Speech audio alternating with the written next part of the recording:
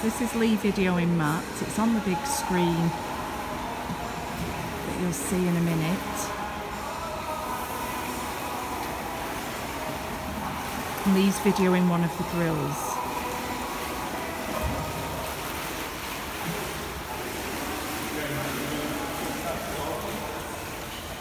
This was the last one.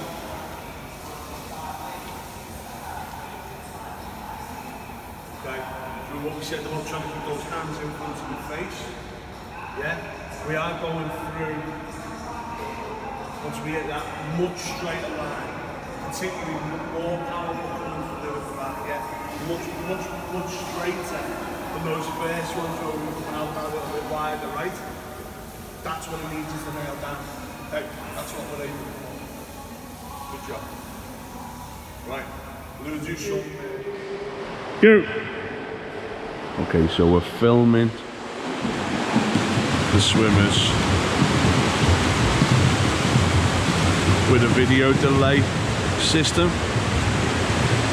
So the swimmers should, in theory, swim the 50. And then by the time they get to the end, they should be able to look up at the screen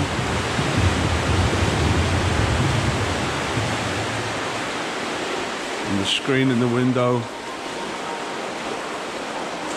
Should be replaying on a 30 second delay.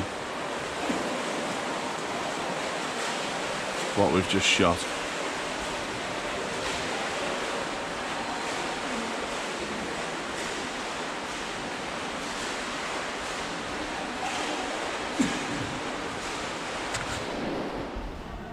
And finally, this is some over and underwater footage shot in in 4K with the new underwater camera that we again got through the the Isle Sport grant money.